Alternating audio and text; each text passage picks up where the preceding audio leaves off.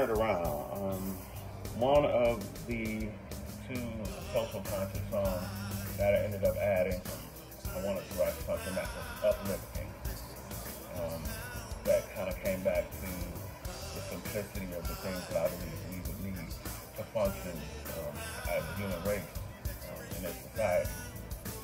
And um, I just wanted to kind of have a feel of some of the songs that were effective in doing that in earlier times. Bobby Raymond came on and laid an amazing bass. Um, the, the vocals, at first I was not really happy with them, but then I wanted them to be kind of simple